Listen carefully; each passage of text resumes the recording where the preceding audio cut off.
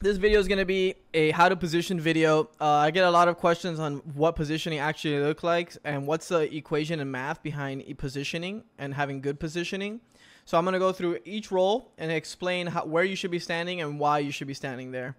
Um, if you guys want to support me, you guys can buy the Founders Pack through my Nexus for Smite 2 and all their gods uh, and all their upcoming gods as well. Appreciate it. So we're going to start with ADC. So first, let's look at the scenario, right? So the first thing you should look at to understand positioning, right, is where am I and where are they? So my team is is look, I don't know, I, I forgot this game already. So just based off what I'm looking looking at is I'm alone for about six six to ten seconds, right? That's a pretty fair equation. If you give me the advance game a chance. Um, so I have I need to buy about six seconds of time or seven seconds where I know that I'm not that where I can't die or lose relics. So I know I have a good position, right? So I have good wards, so I know that they're all here, right? Based off the math here is I, I know they're all at green because they're chasing me, right? So and I have tower, right? So I can peel back this way and feel confident. So what I'm doing here is baiting. I'm baiting my life and dishing out damage so my team can collapse here. So they give up pretty fast there. They give up pretty fast because they realize that there's a hurt behind them. And now I have an opening. This is called an opening to dish damage and really play aggressive. I root first. My build isn't the greatest to hit tanks, but that's what's in front of me here, and I don't have like blink or anything to dive backline, so I'm gonna pressure the Ares here without giving up positioning, right? Because like for example, the right character to go on is Marty and Thor with this build, and but I'm not gonna give up my positioning to do that right now, right? I'm not gonna dash in and try to go on the Marty. That'd be the suicide. I see a lot of hunters do this. So you want to play I'm gonna hit this, and then so now the opening the opening is there for me, right? The Ares backs up, the Thor backs up, Nox is here, so now this fight is wide open for me. So I'm gonna hit look to hit this guy, even though this guy's right in front of me, right? This guy can hit right now. I'm gonna target him. Why? He's the carry. Two, he's worth the most gold. Level 11 Ares gives very little. Three, my build is better versus him. So all the all those three things that I talked about are the reason that I'm gonna push forward here to go on this Marty. And that's when I dash, right? Because I see the opening. He then Marty ults to respond. And then and then see how I don't just keep chasing the Marty, right? He used ult for my dash, and I know without my dash, I'm a little bit unsafe. So I'm going to just just stay here and, and trade with the Ares. Nox is now TPing. This is something small, has nothing to do with positioning, but something you can always do. I switched to green stance, death toll, and crimson claws, and try to get some extra sustain in this fight now that I'm poked a little bit. Something you can do. And now I look back at the fight. Ares is free for me. I don't go in first, right? I want my Herc to tank the tower so that I can commit. I don't want to take free tower shots. I focus tower while the Herc tanks for a bit. I call for the Gold Fury. Thor hits a nice stun. This is another quick tip that I can give you is you so there's I have vision on their whole backline, right? Meaning I don't need to beat this, right? I know Marty has no ult. I know Nox just got here and I know Pwash are not in position to follow up this stun, so I'm not gonna beat it. That's another quick tip for knowing how to use relics. I'll probably come out with that video soon. Thor's up in the air and I, I get kind of left here. Everybody kind of leaves. So I'm out of position right here, right? Because everybody kind of bails. And so that kind of exposes me in terms of positioning with Thor being in the air. Right now I'm just juking, trying to juke the Thor So he misses. Pretty bad miss. Juke the wall. Reposition again. How, so if you if you've actually paid attention, how many times have I repositioned this fight? About three to four times already. A lot of people don't ever even think about repositioning one time. They just keep attacking or keep going or or or just always running. Repositioning and re and reanalyzing where the fight actually is is very important for you to make consistent decisions. So here I'm playing I have double relics here. I am frontlining though, right? Because like, look, my whole team is behind me, but my Herc is low, my Sylvanus is low. I'm kind of 70% HP, and we're baiting this fight. We have really good vision. No Thoro, no Martial. It's a 4v5, so I feel confident in this fight. Good Kraken. That's beads. So I drop ults. Posh ult gets dropped. I Aegis the Posh ult. That's the fifth reposition in just this one clip. I get hit by Nox ult, so I don't really do that much damage. So I reposition again and now we're gonna look at a completely different fight. You gotta start up the surrender to make sure you're in a real rank game. Um, here I have a pre- really good opening. So what's the first thing you notice, right? Everybody is already kind of low, right? Two, pe- one person's really low. Marty use ult. These are resources that my brain is downloading or just keeping on file, so I know how aggressive I can play, right? So here I have almost double overshield. So what is this? This is Crimson Claw passive pro, plus uh, prot prot buff. So that's why my shield is so big. But that also is another factor that encourages me to play more aggressive with my positioning. So here I go. But Posh shows up, and I know this is a squishy. With my crit build, I can almost two-tap him. So I'm going to switch aggro onto him. I missed the root, dash. Hit some nice autos, miss a couple. He's dead. I tried to ult, but he had dash and blink, so that's unfortunate. So this is kind of a free fight for me, right? So that's why I'm positioning just looking for the best target to kill because I have not been casted on. I dash to close distance. Marty uh, doesn't have ult from the last fight, and it ends up being just a free fight. So if you compare this fight to the last fight, the last fight there was a lot of repositioning. I never really got to just take like blow through the fight, right? A lot of people try to treat every fight the same way and they fight the same way every time they show up. You have to adapt to the situation. So here, this fight was free, right? This fight was this fight was pretty free for me. I was barely casting on. Paul shows up late. I cast on him. We kill him right away. Nox blink dashes. Marty used all early. Thor was low. A lot of good, positive things that allowed me to just play how I wanted there compared to the last fight. Not finding an opening is okay sometimes. It happens. So now there's only two people here. I'm trying to get my passive. They end up stealing it because I kind of switched aggro there. At this point, one another uh, quick tip that I'll that I'll give you, um, is when you when you lose an FG, you have to chase them out at all costs. You have to get picks. Every pick is high value. They stole FG, so their their goal is to try to get out and conserve the buff to then siege. So you have to chase everything. So obviously it's it's pretty it's pretty obvious, but sometimes people just get um, sometimes people get like frustrated and just stop what they're doing.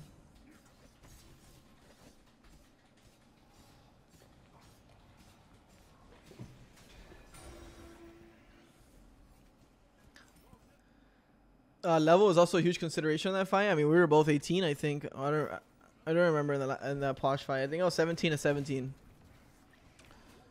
So as an ADC, you should always be hitting structures, right? I'm positioning, like, a lot of ADCs run past this, right? What happens when an ADC runs past the structure? I'm pretty sure I was 17. I'll look at it again, though. Oh, it might have been 20. Oh, yeah, it was 20. 17 in the last fight.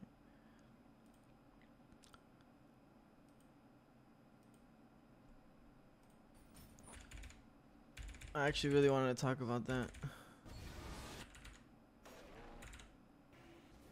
Alright, so here we're sieging, right? We have FG for three minutes and, and some.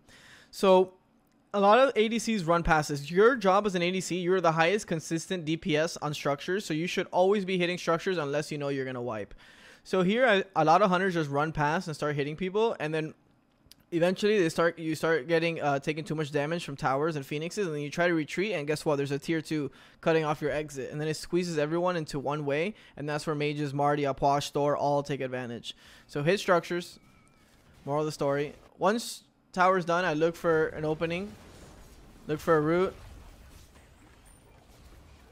after i get hit with a marty 2-1 i respect it. Reposition. Because i know thor's still alive I look for something to heal off. It doesn't look like there's anything to heal off. Thor looks like he's taking advantage, winning the fight. So even when I'm turning my back, I'm not really. Lo I'm looking at my map and looking at the resources, like because the mini map reveals so much, right? Like Thor was here and then here. That means he Thor ulted. So I'm accounting no Thor ult, so I can maybe fight on the back end.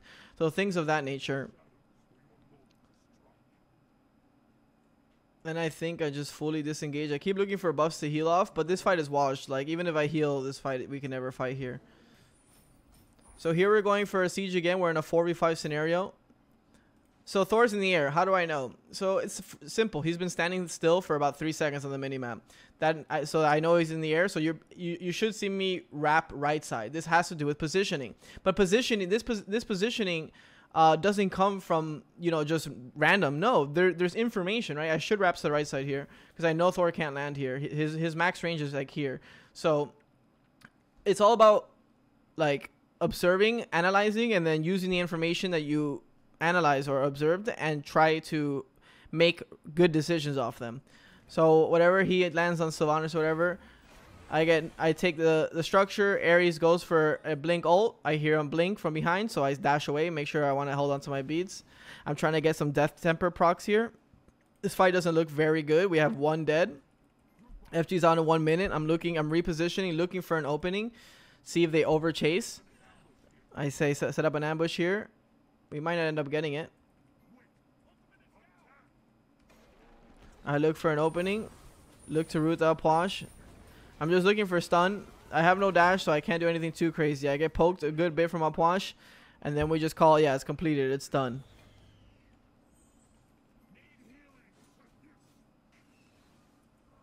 Now we're into a new fight. Let's talk about what this looks like. So this looks really bad from just first, uh, you know, first look. Herc is 20%. They're all massively grouped and w- Solana is 70%, 20%. I'm full, but I, but it doesn't look very pretty. So the first thing I observed was that Ares was a little bit pushed up compared to the rest of the team, right? Because Wukong was giving vision on them. So I know that I have time to commit on this guy. So we just one tap the Ares. But I know but I know this corridor is Nox, Apwash, Marty, and Thor's wet dream. So what do I do? I don't give it to them. A lot of people get that kill and they just run straight into everything. No, you still have to look at the fight and and when when you're able to read, okay, they have no relics, they're running away, they have no ults. Okay, I'm gonna run it down. But no, I, I don't. I get the kill and I reposition. Keyword. I let them show. I wait for my front line to give me vision. You see, Marty, Marty, Apwash's wet dream right here. I'm not gonna give it to them. I see two abilities go out. I ward over the wall and I look for my opening and now I'm here. You see you see the big like that's a big difference from like uh, you know whatever me and and like your average Joe and Diamond. Your average Joe and Diamond is killing that Ares and saying attack attack attack and running it down. No, you you, you still have to be very patient. They kind of forgot about me. If you if you see it because I had good position, they forgot about me. I also used line of sight there to just stay hidden and then once Savannah sets me up or I see a good setup, then I go. He almost gets two shot, two crits. A Pwashalt comes out. I root. That's Aegis. I know I don't have to finish that kill. I don't need to dive. I don't need to kill him. I, am not playing Call of Duty. I then reposition again after Pwashalt and try to find a flank to see if I can go for more. I call FG. It looks like they're overcommitting.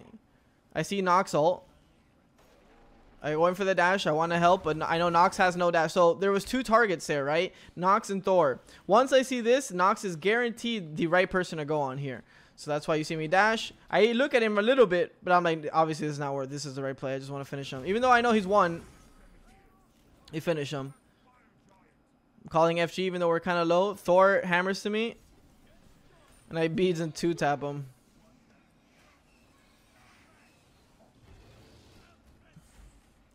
So let's talk about sieging and positioning as an ADC when sieging. We've had a couple sieges, but we'll go for the last one. So let's look at the map first. Remember, map first. That's always first. That will allow you to understand what you need to do. So we have double Oni fire waves coming in right now, right? This is actually bad positioning, right? Why? You're going to see right now. So obviously Ares wants to look for an ult here and pull my beats for free, meaning Thor gets a free fight. I should have known that this was going to happen and repositioned, but I did not. So I got punished. I should lose my beats here. But I get double value because Thor lands at the same exact time. I dash, reposition. So we get the Phoenix. I lose my beats. It's Thor Ares ult. And double fire waves are running, rushing in from mid right. So I reposition backwards and observe the fight. We get one more pick. I try to just stay here and trade. Why? Because I'm low health. Am I going to kill anyone here? Probably not. But what am I doing? I'm confusing them. By positioning aggressive when their structures are getting sieged, they have to make a decision. Is this guy actually trying to fight me or is this guy just making a distraction? Make them think. If I'm just standing back here by back camps, they don't they don't have to think, right? They just say, "Oh guys, let's defend." I mean, everybody left. By being here, I'm making them second guess themselves and what and, you know, making them think. He gets a jump. I look for the grab. And now he's left alone. Gets shredded. Titans one shot now. All over the wall. Try to get the finish. GG's. So you're able to see at least a couple different fight, a uh, couple different fights, a couple sieges, a couple fire giants to understand. Okay, this is what I should be doing as ADC. So let's talk about support because it's com it's very, very, very different. So support positioning in this clip. Let's break it down here. So I start the OBJ. That's guaranteed, right? You want your tank tanking it. You're you're building prots for a reason, right? Why would I give it to my Ravana? Even if he builds a shield off autos, no, no. You are a tank. You're building two tank items for one reason, to tank. So make sure you're... I also could have used my turtle to save, conserve more health, but I wanted more DPS here.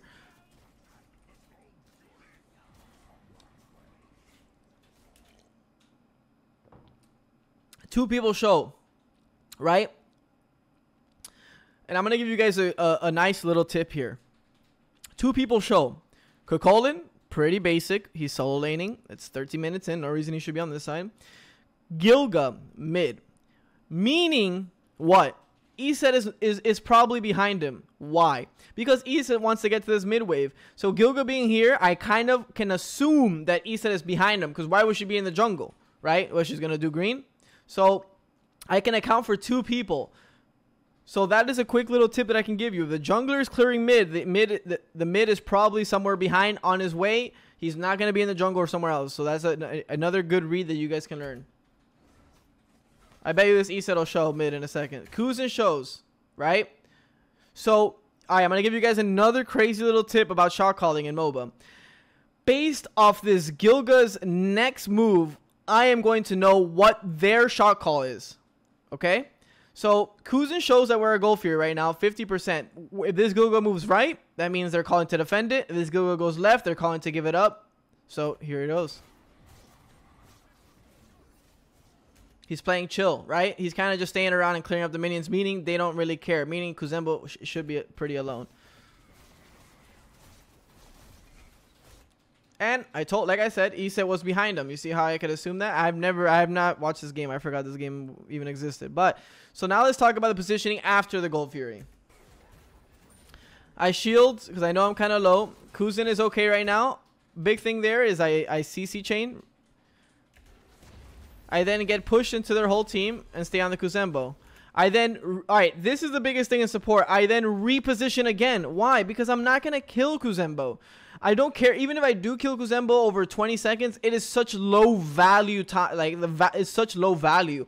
I'm investing 20 seconds to kill a, Kuzem a level 9 Kuzenbo. Very low efficiency. So after I push the Kuzenbo out, that's that's considered a TKO. I don't need to kill him. I, he's already out of the fight. He used ult, he used dash, he's 30%. So I reposition and I come back in to see who I can peel. I look for I get a double ult here. And I know I'm going to heal into a triple Ravana ult. Then get Eset. And, and I keep pushing through here. Get a pin. Look for some extra kills. Now the Anhur is hitting me, right? First thing you should do as support is, when you're in trouble, is this is big. Run to your damage dealers, not away, please. All I've seen many, many, many supports just run in a random direction when they are taking damage. Please run to your damage dealers. your damage dealers are there to help you. They're going to throw damage over your shoulder, which is going to allow you to get peel and or turn the fight, which is really good. So first thing I do is I know I'm in trouble, right? There's four people on me. I run straight to the Marty. I could have ran to the Bellona, but I ran to the Marty. Why? He's closer, one. Two, he does more damage than Bellona. They could Colonel. I, at this point, I'm just trying to juke, panic mode, and buying time for my three. I do get my three off then. And then what happens is they over chase me, right? They over chase me, and the fact that I ran to my team allows an opportunity like this. And I stay I stay around because I'm still a value, right? I have Blink and my 3-2 are up soon. So I'm looking. I finish the Kuzin with the Bellona. Then I reposition to the left side. But I'm seeing if there's another opening. If they actually want to fight this, they should just run. If this was high level play, you just need. No one can kill anyone here, right? Uh, the best thing, best case scenario is Kakolin chases me out.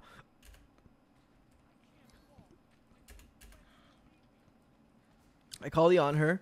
I know we're playing for that. I then pin. Hey, so what am I doing as support right now? I could have backed already, right? But the thing is, is that this Kakolin, what, what what would he prefer to be, be doing right now if anyone knows anything about macro and smite? It's hitting minions. He wants to hit minions. How do you get ahead? You hit minions. But instead, he's chasing a level 13 Erlang that he thinks he can kill. He might be able to, but I'm kind of I'm I'm limit testing with him, and making him chase me. He uses abilities abilities on me, then Bellona kind of goes back in. I kind of stay around, cause this Kakolin could be crossing and getting to these double this double wave here. Instead, he's trying to take mid wave. And I'm okay with him taking mid wave. Why? Because it's going to take away from the E set, which is already behind. So I stay here. I tom for a little extra juice. Pin. Three. Get the shield. And he got baited. Right? So in just that one play of that Gold Fury, which was about one minute, maybe minute 20 seconds, there was so much value in that whole fight, right? I ended up, t- I tank Gold Fury, get the, get the Gold Fury, then end up getting the, the Kuzin TKO, then turn around, get a two man ult, we killed two, then end up baiting the guy, the, where I think it was the Isa to chase me, Marty dumps damage. Then I go mid, it's just baiting, you're just baiting your whole life. And that was just masterclass of support right there. So here I engage. Why? Kuzin's low. May I kill him? Probably not. But what I'm doing is I'm going to force this Isa to help him. As she does. I pop Thorns. Look for an ult. Just trying to get some extra damage on him. They're going to try to engage on me here. And do you guys think they want to use those resources to poke me out? No, they prefer to use the two and the one and the wave. But instead, what does it do? So this is something that's deeper in Smite Macro is that you have we I give my team pressure here. How do I give my team pressure here? What does that even mean?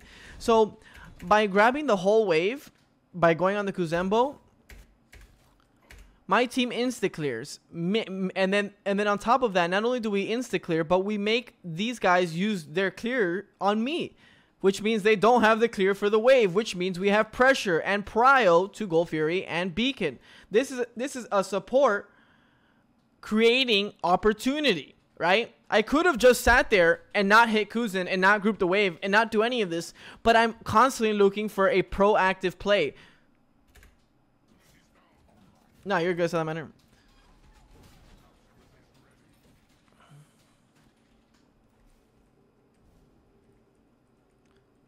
So you see how the wave is still on them and the E set is not helping this Gilgo blinking in?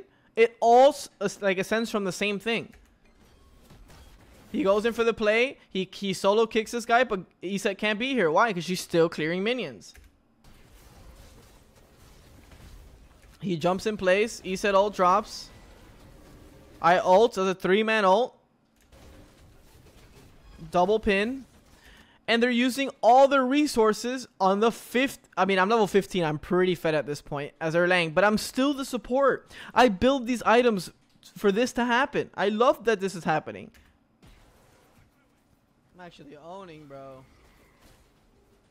Gilga, one shot, no ult. Eset, two, one shot, no ult. Anhur starts to hurt, hurt me.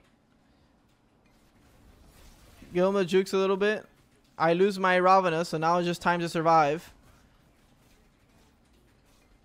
And there I reposition.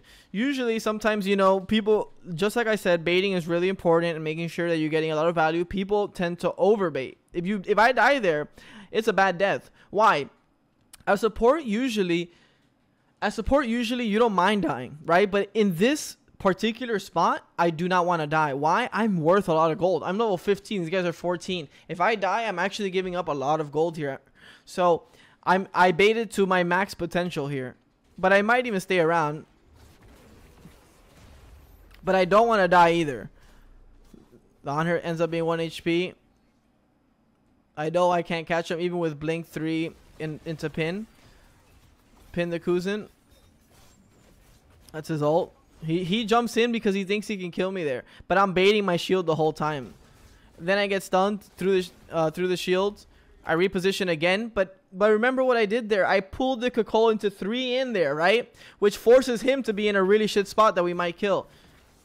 The Gil goes even back. So this is bad actually because now I have baited so long that the Gilgo is able to back and come back.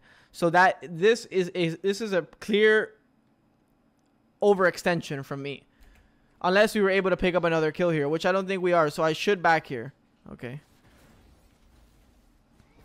Well, it looks... I mean, this guy I'm willing to debate with because he... Here I should just dip, but I have ult again with Pridwen, so I might try to do something. I come back around. If I didn't have ult here, I don't come back ever. But with ult, that's heal with Pridwen shield. Oh, that's a pretty ult.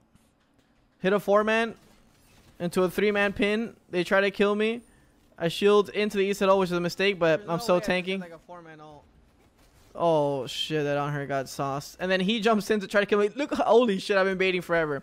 Even though this went a little bit away from positioning, I hope you guys still picked up a lot of information on how support should be played.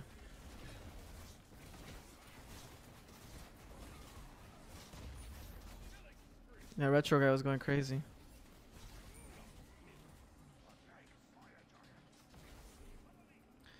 All right, so this is a good. Um, you guys might have seen this on YouTube Shorts or whatnot, but this is a good representation of how to use line of sight. A lot of people would just stand here. The fact that I'm standing off to the corner and not showing is what makes them confident enough to try to commit on this Bellona.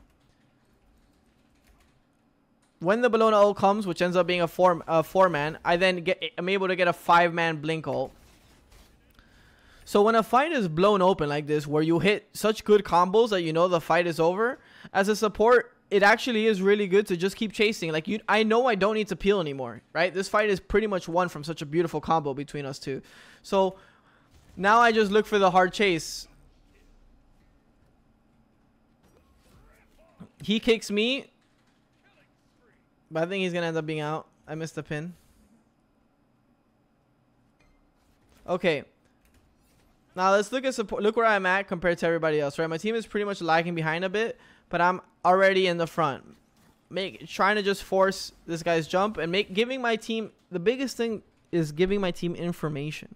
I'm standing so in front of their team that I'm able to show, and we have really good vision on top of it. That we know Eset's up there, we know Kakolin's kind of alone, and it allows my team to play really far up and funnel. I don't ult there because it's not a good enough opening. I'm calling FGE.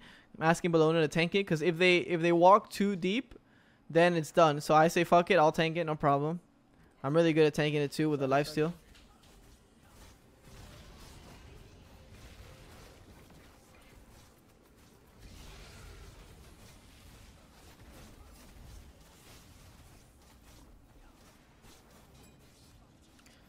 So once it's at 30%, I drop it. Why? I don't do any damage to it, and my team can tank it because I know they're all full HP because I've been tanking it all, right? So at 20%, I drop the objective and go help my team. Something you can do if you're, you know, if you know enough about fire pools.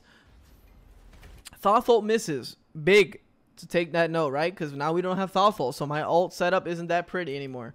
So I come back and I'm like, oh shit, did we get the fire? Okay, look to peel. He dies. Okay, should I go help on this Kakolin? Most probably. Because uh, my Thoth is all my damage. But then I end up get like giving up on it for one second, and then I remember Gilga's flanking. And then I my ult is late. So we end up picking that guy off right away. There's more people coming. So I try to body block to Anhur, right? So what is the most damage? So someone that this is what separates players in terms of how good they are. We kill this Gilga right right away, and what's the first thing I'm looking at? Who's alive? Where can they be? They're not back here because I would have seen them on the minimap, right? Look at this trail of wards. So they're somewhere around here, right?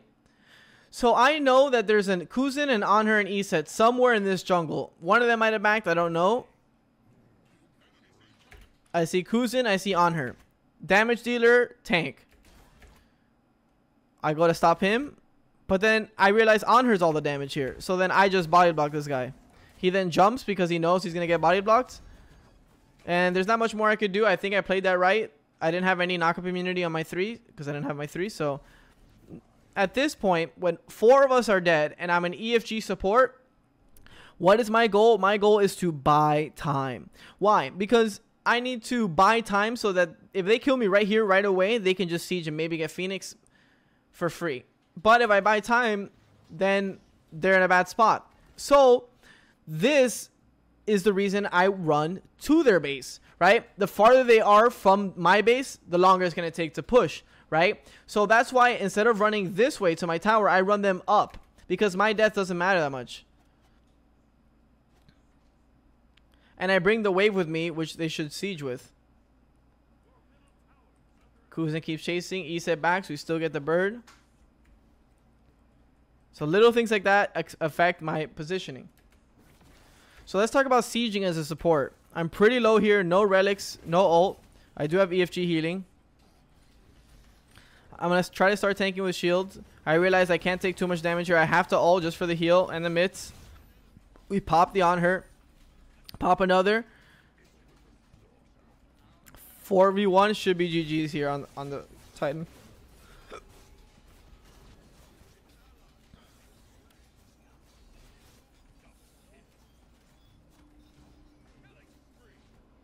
I just call for the end at least. That might kill us all. Nice ult. Next is mid. And I'm actually showing one of the best characters in mid that really, really, really need positioning, right? So positioning as a mid is very important. You have to know what is your kill threat. What can kill you? Who can catch you, right? Can Geb catch me? Probably not. Unless he has blink. So if he has blink, then I take notes. Okay, Geb is Geb is kill threat to me if in range to blink. So I now space from Geb. I find Geb. I look for Geb. So I understand where I can stand.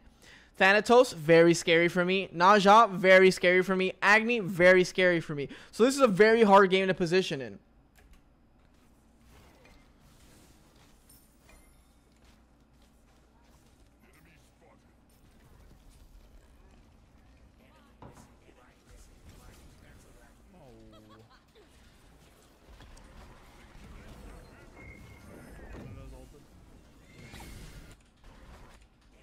Okay. So, Geb is getting gone on, meaning he cannot blink ult me. He then gets stunned. But I actually make a mistake here in positioning. I walk too close. I don't need to be so close. I go to chain lightning him and I'm in range for the ult at the outer circle, but still there. Bad bad positioning here. But there's a good play in this. I don't beads. Why? Because I see that they're all looking at Arachne, not me. Right? This is very important. I'll probably make a video. I'll probably make a video on how on how relics, how you should be using your relics and whatnot, because I think it's very important and really how you, uh, you know, separates the great players from the average players. But here I see these three are not looking at me, so there's no reason to beads here. So I hold my relics, but now I know they have no Gebel. I hit another auto here, and then I know they have no rollout, and I don't know if Agni has dash, but I don't care. I'm gonna drop the all in the Geb. I then hit that, and now I, I have beads for the Thana ult. But I know these guys are not in good spot to follow up. Okay, my second positioning. Uh, I make a good play here. So I use all my damage. Boom, boom, boom. He calls Thana in the air. I beads it pretty fast. First thing I do is, what do I do? I run to the minions. Why? Because they can body block the scythe through me. I understood what was a threat there. Geb wasn't a threat anymore, no ult. Agni was on the run, not a threat. Thana is the last threat. He, but I have beads for his ult, so that's cancelled. And now all he has is Scythe, and I have Aegis for it. But I prefer not to use Aegis and use my surroundings to help me conserve my relics. You see how I just run straight behind the archers, and he actually does a really good play and uh, swipes them before that, but then he was already dead. Oh my, they're all one shot. Fuck. Oh, is it gold? Okay, this is a great fight off the bat. Why?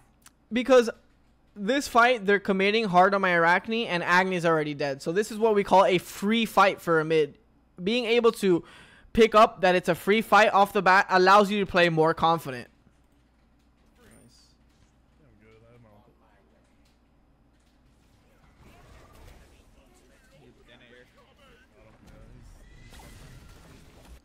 I could have Aegis this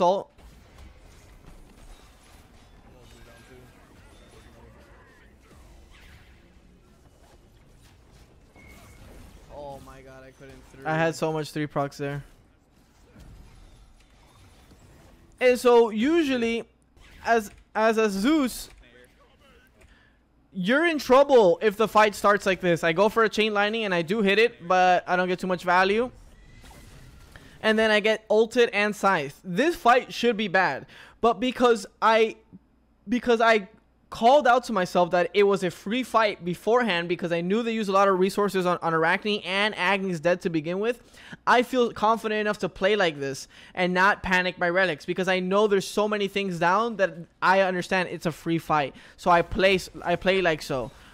Like here, I, I just got Thana ulted and Scythe. I'm half HP. You think as Zeus I'm running into this? All this damage and AoE? Well, yes, because I called that it was a good, a free fight. Plus, the Scott isn't right. Another more information to take part oh of. Oh my god, I couldn't three.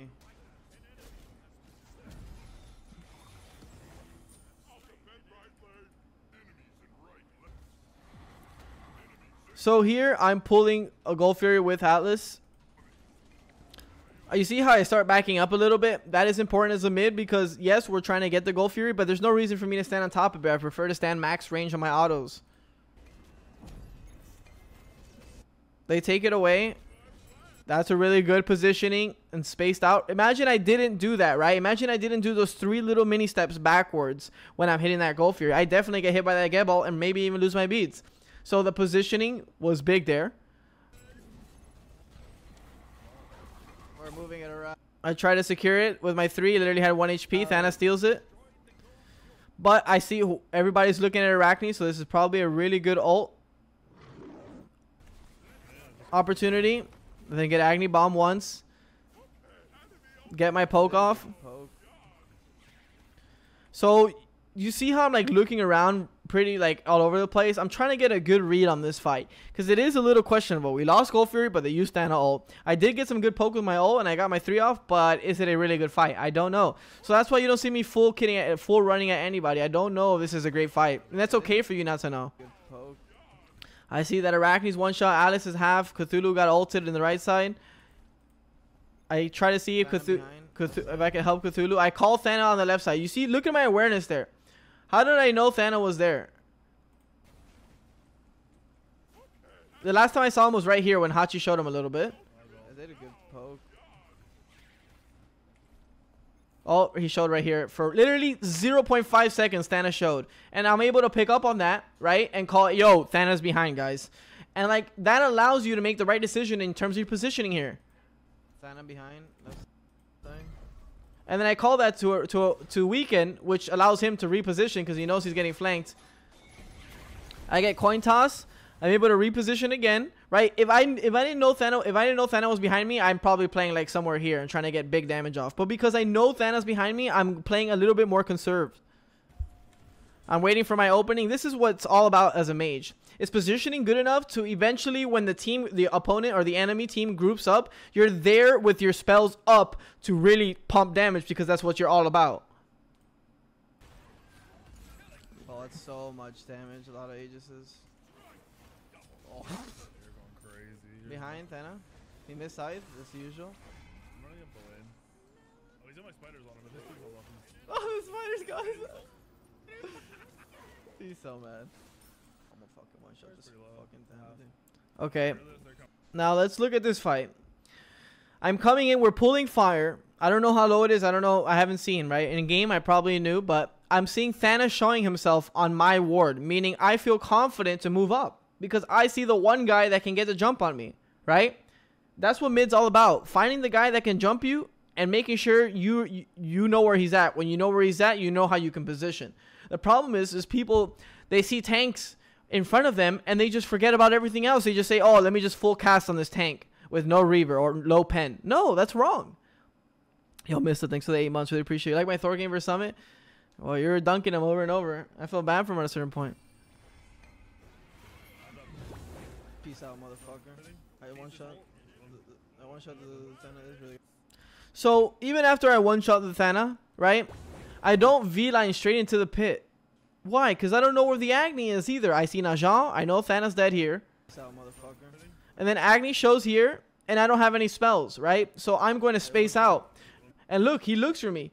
Cause I, and, and he can't catch me because I space out. Because I know the fight isn't over. Now I'm starting to think, okay, the fight is in a really good spot. Two dead, and we're on FG. So now I come up again. He dashes.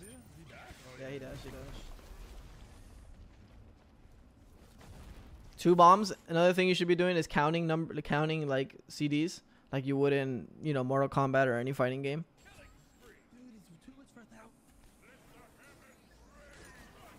Oh my god! It was a one I know Agni's out of this fight, so now I can full cast on Zeus and just get on top of him. No Agni, no Thana.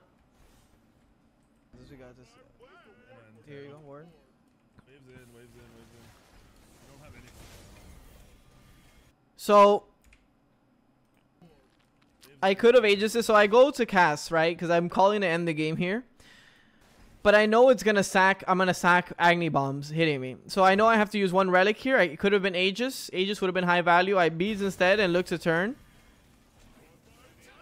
He ends up getting one shot because I cast my three, waiting for his Aegis. Because I know you can't cast a spell right after the Aegis, so the animation is too long. Get that kill. I'm counting my timers. I'm looking up. If you can see, I'm looking up here at the Thana. Thana just spawned, right? I have Aegis. Just get away from me. Get away from me. I end up killing the Scotty, which is chain lining off the minions. I actually have a bad Aegis, Ah! Oh, he sucked. and then the rest is history. Oh my god. I'll. Now let's talk about jungle, because jungle is a very, very tricky one. In my opinion, the most tricky in terms of positioning. That never happened. So I'm getting gone on here, right? Let's look at the map first off the bat. So I miss Ash. Sobek's on left side. That's actually. Wait, I'm looking uh, blue. Okay, Sobek is your soul later, right? Ne Zha definitely needs a lot of positioning. So I'm looking at this Merc. I think he has blink or something. He grabs me. I hear Achilles, right? So I know I have to ult, right? Because I have no backup anywhere soon, like anytime soon, right? So I'm forced to ult here, not because I'm trying to kill him, because I'm trying to avoid taking too much damage before the fight starts, with Achilles already charging up his two and his one. So I ult. He, so now I trade my ult and for Mercury Dash and Achilles one, meaning their damage is low, and my and I'm still fine.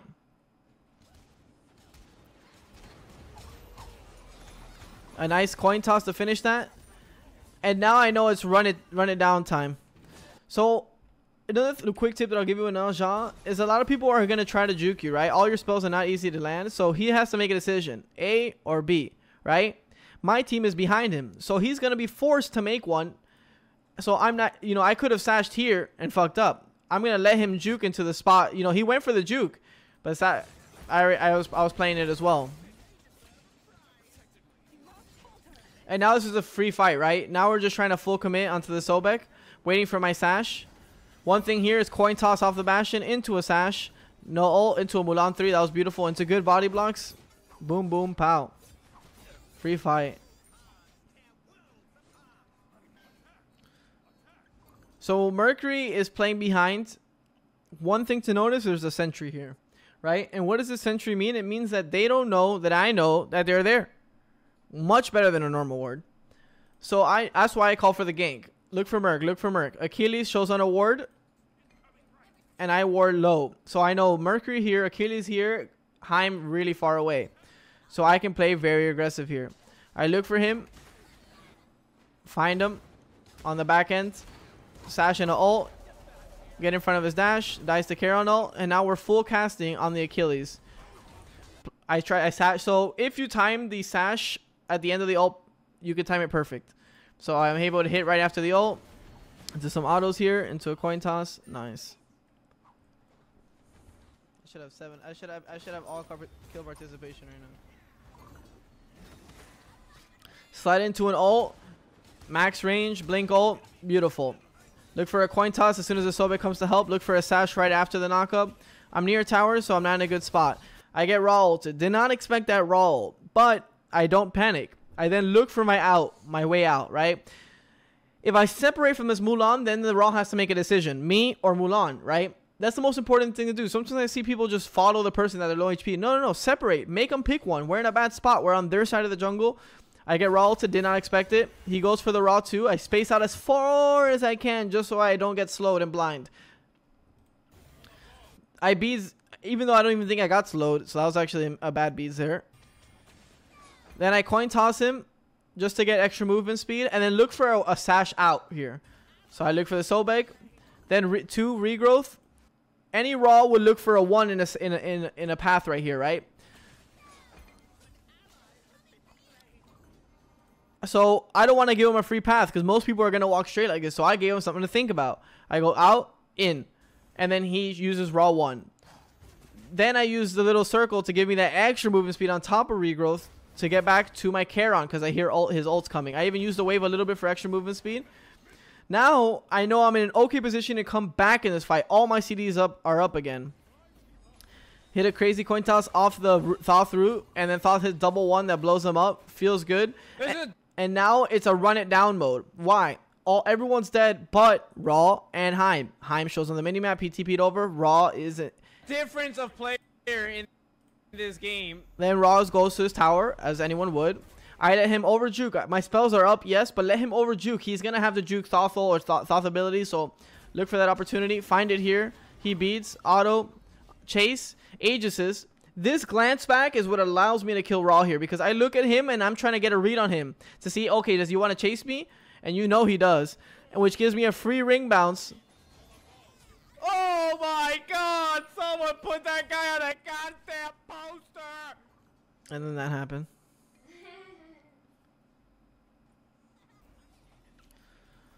So this fight looks okay. Merc's already dead, so it's a kind of full blown run it down. That's an Achilles ult that I chase with my ult. It goes a little bit farther. That was pretty sick. Coin toss off Bastion. You know it's money. And look for another sash. Space out. That was a big one, right? So Ra is all about prediction, right? Since he has no setup. So I coin toss, boom, boom, boom, boom, boom, and I see him looking this way, as because he knows I'm gonna chase his Achilles. So even a quick backstep into a sash can make a world of a difference. Because now I'm sitting at 1900 HP instead of maybe you know 1200. Man, I look so good playing this game. Now we go for the chase. I actually should have killed that minion because it's a free coin toss value. He beads and Aegis, look, looking to commit. Oh, there it was. Nice. I even said it after. Make let him over juke until eventually the sash is there. Take care, King. Have a good one, bro. What's up, Alex?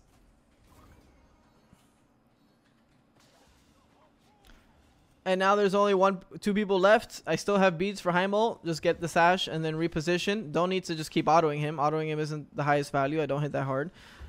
Two regrowth into another sash. That's beads. Space out. Let Zhang tank. Look for the coin toss. Bam. Looking for a siege as a jungler, but Ne Zha is a bit different because this is a hybrid Ne Zha. Hybrid Ne Zha plays a bit different than normal assassins. Because positioning as an assassin is very important to just be getting flanks. Have sentries, sentry your flank, then you know your flank is safe to do so, and then look for them. I talk a lot about this in my coaching videos. If you guys want to watch my Lancelot coaching videos or Willix or Thor, they start to hit me pretty hard with the coin toss. I mean, with the high models with XC. Sash, the front line. No, he's in trouble. Space back out. Sustain. Look for a coin toss. Make sure I'm full movement speed at this point, but know that there's nothing else to get at this point. So come back. Look for the two. Now we're gonna have the siege right. There's gonna be three people alive for this. It's gonna be a 4v3 with two minutes and a half of FG.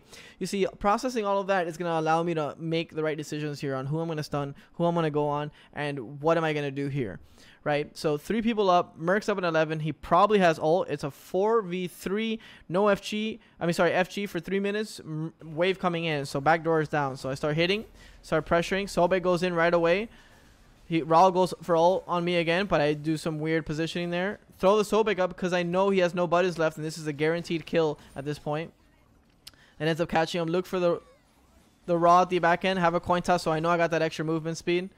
And I and look, because I thought about yo Merc is spawning soon. I knew when I got all those kills, it wasn't just oh let's go back, let's live, or let me back here. No, I know Merc's looking for that ult, so I'm gonna try to reposition, and I use this pillar for my for my safety.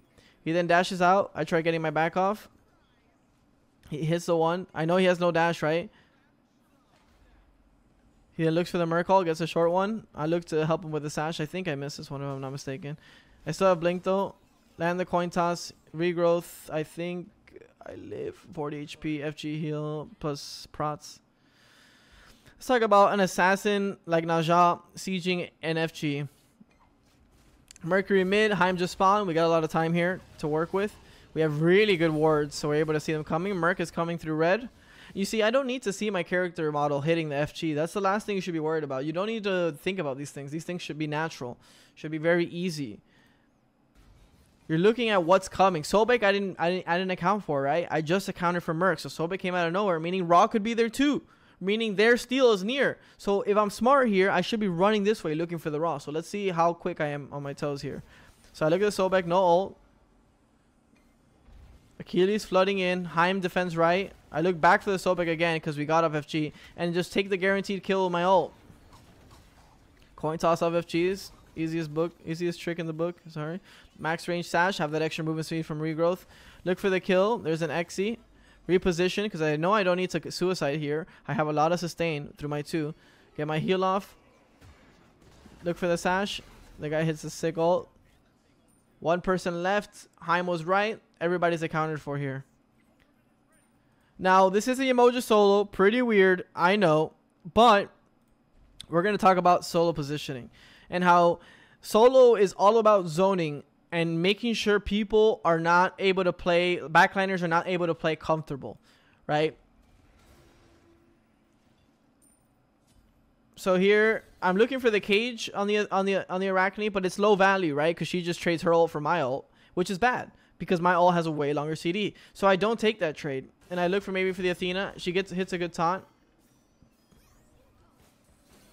Nice, nice insta grab because she can ult in that timing. What four for four? Cage as we're getting ulted for more Omi really that wasn't in, to try to kill. I, I was just running out of Omi and I felt like we needed we needed help there. I have I'm so DR'd this guy's dead on the left side. I turn back on this guy. The Yemoja is a little bit different because you're always like you know looking both forward and backwards. It actually is way higher level of uh, positioning than any solo, right? Because solo, in my opinion, is actually the easiest to position in. Uh, for example, when you're playing any character of sorts like Odin, right? you can kind of just stay in their face for free. Uh, you don't really get punished. Yemoja actually takes a lot more looking behind, looking in front, looking behind, looking in front. I got heals, so I use a three. I use a three here to pop him over into a stun. That felt good. Look for a two shield, hit him. I should be leveling the shield there. Beautiful. So I lost a little bit of value. I did miss that too, unfortunately, but it looks like we're just gonna end up fragging him. Got enough Omi for a three soon, but he's gonna he's obviously gonna make a decision on where he's gonna go. Is he gonna go wide? Like try to give him a nice little three here to give him some juice, but I don't think we're gonna end up catching him either way. Yeah, not enough Omi. Oh, we got vision on Ethol. Nice. I try to get the bounce to cut him off, which it ends up doing, so then I can just get the free auto off. Mystical Mail too. This is Solo Mojo, so the things you see, don't try at home. This is an Artemis just getting soloed. Doesn't have too much with positioning. the only thing that I'm looking at here in terms of positioning is I know I know I was waiting very patiently for this Artemis to go wrap around her purple. I see Jing in left. I see Arachne on mid camps. Athena dead. This guy is completely alone. And so I just look for the angle. Look for the slow. I actually should have had better body blocks with pre-beads. That would have been the most perfect play. But, you know, it is what it is. We still ended up hitting the one. Just keep hitting ones over the head there. And that's goner.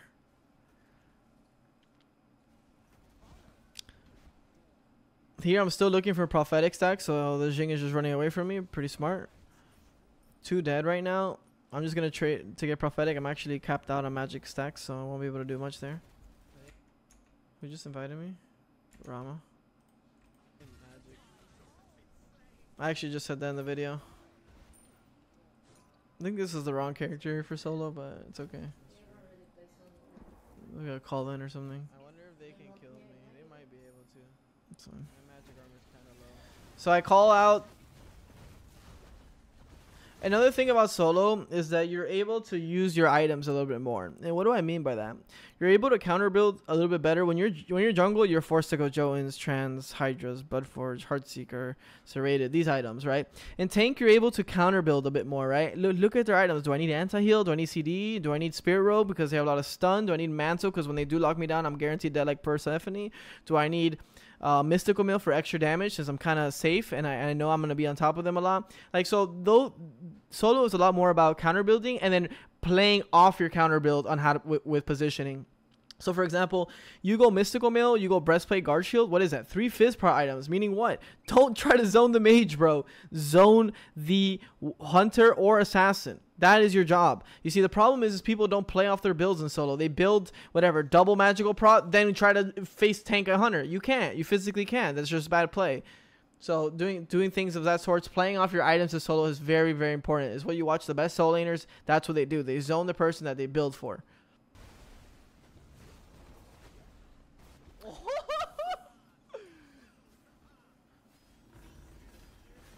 Athena ult. I knew I just had to stun my feet there. She can't kill me at this point. Just drop a couple autos for Omi. Look for three. This guy should live. Arachne comes. I space out. She's on beacon. Either way, guys, I hope you guys learned something about how to position in every single role. I try my best to break it down with different type of videos. If you guys uh, like the video, make sure to subscribe. Thanks for watching.